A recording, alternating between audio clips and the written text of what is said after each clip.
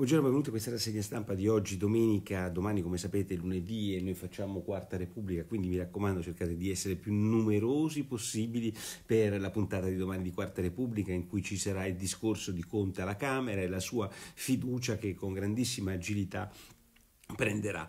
Oggi ehm, la rassegna stampa di oggi dovete avere pazienza, sapete che dura in genere 10 minuti, 12 minuti questa rassegna stampa, anche un po' troppo devo dire la verità per quello che talvolta non c'è scritto sui giornali, ma oggi la rassegna stampa si deve concentrare solo su una, una sola cosa. E cioè ieri Mattarella, il Presidente della Repubblica Italiana, ha mandato in un consesso di business, come lo chiamano loro, cioè Cernobio, ha mandato una, mm, una comunicazione dicendo che si deve superare il patto di stabilità.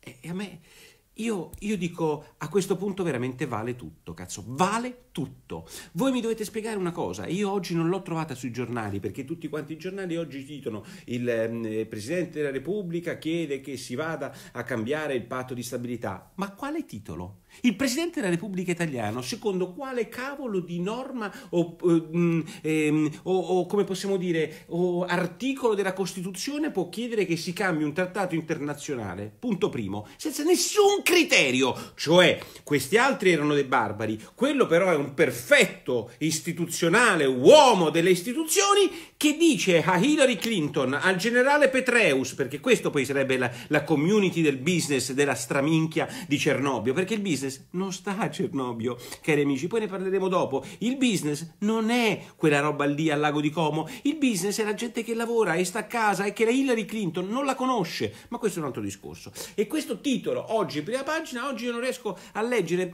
come posso dirvi, nessun commento indignato sul fatto che il Presidente della Repubblica Italiana sta diventando come Cossiga. Seconda questione, ma se il Presidente della Repubblica Italiana Mattarella avesse detto che si deve ehm, cambiare il patto di stabilità e al governo non ci fosse stato il governo dei suoi amici, ministro dell'economia, ministro degli esteri, penso a questo punto, eh, presidente del Consiglio, ma ci fosse stato ancora Salvini e i suoi barbari che dicevano da tempo che si sarebbe dovuto cambiare il patto di stabilità e dicevano che si dovevano cambiare i trattati europei, che cosa sarebbe successo se il Presidente della Repubblica avesse chiesto una cosa di questo tipo? Non cinque anni fa, un mese fa, quando invece la stessa cosa veniva chiesto ehm, nei mesi scorsi. Io ieri ho scritto un pezzo sul giornale in cui dicevo il deficit oggi non vale, prima valeva per tutti il 3%, oggi non vale più. Ma oggi mi trovo più nel Presidente della Repubblica, con il carico del Presidente della Repubblica che chiede che si cambi il patto di stabilità europea che vincola noi italiani a, fare, a sforare massimo il 3%, anzi il fiscal compact dice che noi dobbiamo anche essere più seri degli altri perché abbiamo un debito del 135%. Io dico, vale tutto, vale tutto a questo punto. Un uh, sottotitolo di un giornale dice, la Francia è già d'accordo con, d'accordo con, voi.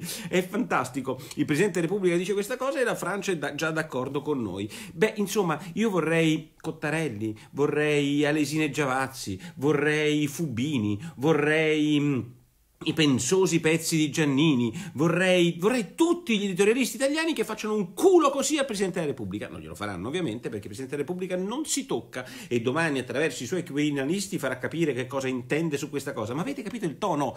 Cioè siamo in un mondo in cui a questo punto, una volta che il PD è al governo, vale tutto! Cioè, ve la voglio dire in maniera eh, esagerata. Il problema è che Mattarella ha detto le stesse cose di Bagnai, ma Bagnai è insopportabilmente inaccettabile. Mattarella ha 50, 50, anni di storia democristiana, non vedo quale, quale, sia la differenza. Dettagli, dettagli, perché se una cosa la dice il Quirinale e la dice in quel modo va bene. Oggi tutti i giornali là a pecoroni a sentire Presidente della Repubblica e non uno che alzi la testa e dica scusi Presidente della Repubblica, ma forse questa volta ha sbagliato, sia quello che dice, sia come lo dice e sia perché lo dice. Una lettera a Cernobio. Seconda questione, Cernobio.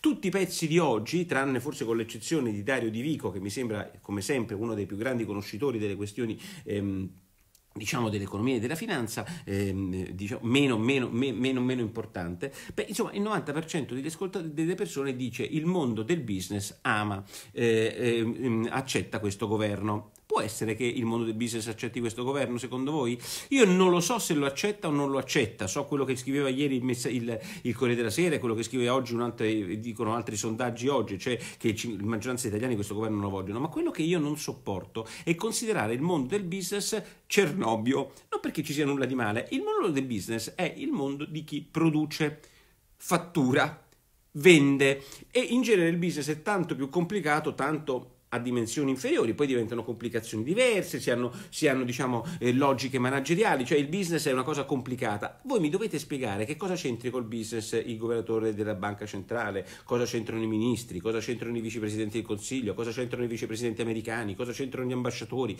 cosa c'entrano eh, i generali, cosa c'entrano gli intellettuali, cosa c'entrano tutte persone degnissime, ma che col business non c'entrano assolutamente una minchia. Capite? Cioè quello non è il mondo del business, quello si è autoproclamato il mondo del business, è il mondo dell'establishment, solo che si ha paura di dirlo. Che cos'è Cernobio? È un'importantissima riunione dell'establishment mondiale mondiale italiano con un po' di roba mondiale. Allora, non raccontiamo palle. Col business quella roba c'entra soltanto incidentalmente. Il mondo del business ama questo governo. No, il mondo dell'establishment lo ama, il che va bene ugualmente, ma non confondiamo pere con le patate, sono due cose diverse. Ci sono un po' di imprenditori ancillarmente che fanno parte di questa roba. Secondo voi il mondo del business è rappresentato dai grandi eh, boiardi di Stato o anche manager di Stato, sono loro a rappresentare il grande business, sono loro a dare un giudizio sul loro azionista in maniera, come possiamo dire, ve l'ho già detta ieri, eh, in... in um,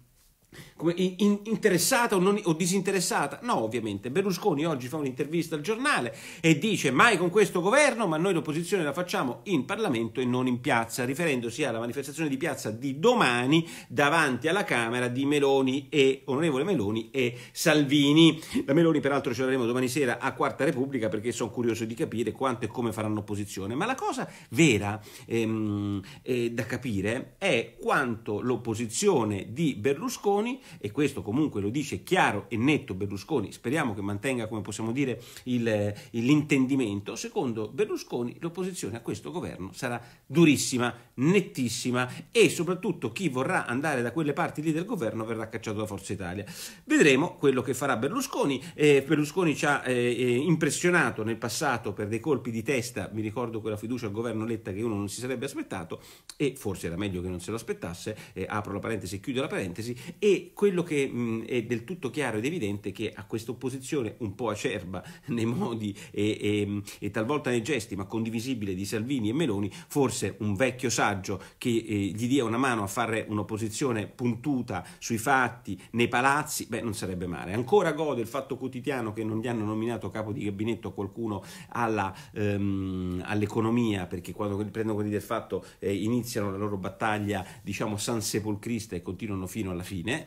E infine il nuovo oggetto del, vedrete, del, eh, dell'odio da parte dei grillini, che si dice, e che quindi del portavoce dei grillini, che è il fatto quotidiano, è questa dei Micheli, che in realtà è l'unica all'interno di questo governo che sta dicendo una cosa molto ragionevole, cioè di rifare la gronda, di fare la TAV, di rimettere in sesto quelle infrastrutture che quei cazzoni, non della Lega, ma del Movimento 5 Stelle, hanno bloccato. Chiaro? Perché questo è l'altro grande paradosso dell'establishment che ama questo governo. Quelli che bloccavano le infrastrutture su cui loro ovviamente insistono non sono quelli che sono usciti, sono quelli che sono rimasti. Io una cosa incredibile. Beh, insomma, la De Micheli, che di fatti, grazie al cielo, sta cercando di sbloccare le infrastrutture perché ha fatto fuori Toninelli e quelli che le bloccavano, oggi è una che, secondo il, la locuzione di Travaglio, come emana cemento da tutte le parti, come se il cemento fosse una cosa negativa. Il cemento è civiltà. Io vorrei che qualcuno ogni tanto ci pensasse a questa cosa. La differenza tra noi e gli uomini della pietra è il cemento. Noi abbiamo le case che non cadono, non dovrebbero cadere, abbiamo le case comode, abbiamo l'aria condizionata, come dice la mitica frase di Nicole Paglia, e cioè la... noi abbiamo dei, dei ragazzi, degli adolescenti che danno per acquisito la economia dell'aria condizionata. Non lo è. Si sono fatti un mazzo così, economisti, imprenditori, scienziati, per farci vivere in questo mondo, ma comunque chi se ne frega. Ovviamente il, il verdismo continua eh, sulla Repubblica e su tutti gli altri giornali innamorati della nuova battaglia ambientalista. Io per il resto i giornali li ho letti poco, oggi ve, li, ve lo dico perché l'unica cosa che mi serviva a capire era sta roba di Mattarella, che proprio non mi è andata giù. Ciao, ci vediamo lunedì sera, mi raccomando, Quarta Repubblica.